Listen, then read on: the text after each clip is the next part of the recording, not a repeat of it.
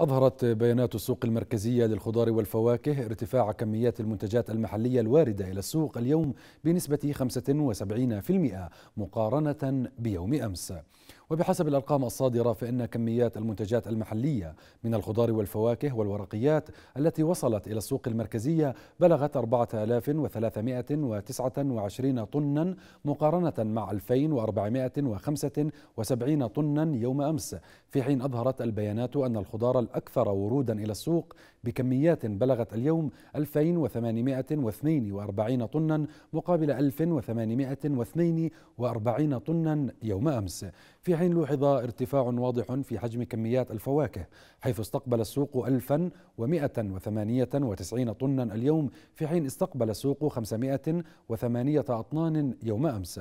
أما الكميات المستوردة من الخضار والفواكه الواردة إلى السوق المركزية فقد بلغت 615 طنا بارتفاع نسبته 23% عن يوم أمس.